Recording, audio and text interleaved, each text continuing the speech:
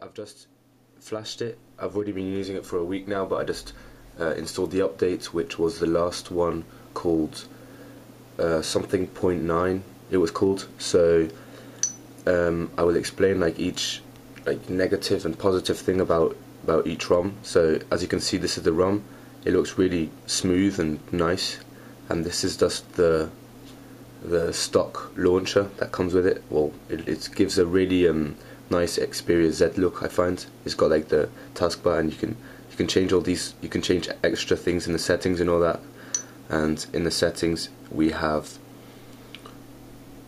Uh, wait for it, it's never loaded the settings here. It's got Trinity Control Alpha, so if you flash it with the Trinity kernel, you can overclock it to 1.7 gigahertz, which is pretty nice to see. So you got the OTA update, you got the tweak enabler, you got all these nice. Well, it's not too much like uh, the other ROMs, but it's just, enough to keep you satisfied for daily use of the ROM. Um, I will, the positive things I found about this ROM is that yeah, the overclocking uh, feature is really nice. I haven't seen it much on Xperia S ROMs yet, or haven't found good kernels that support it well and keep it stable.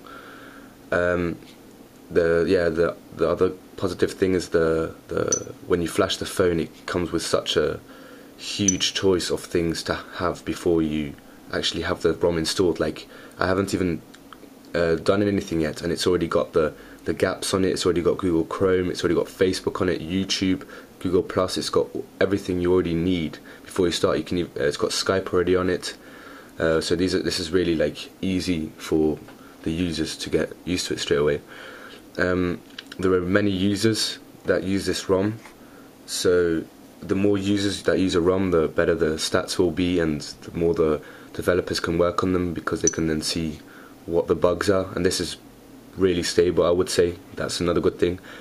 Um, the another good thing is uh, it's got great service, so that means that you've got an OTA update option, which means that whenever there are bugs or new features that uh, the developer wants us to have, um, he will just put them in the OTA update, and you can just flash the updates and yeah get started again. So this is always good to see on ROMs if, if you got a good feedback from the developer.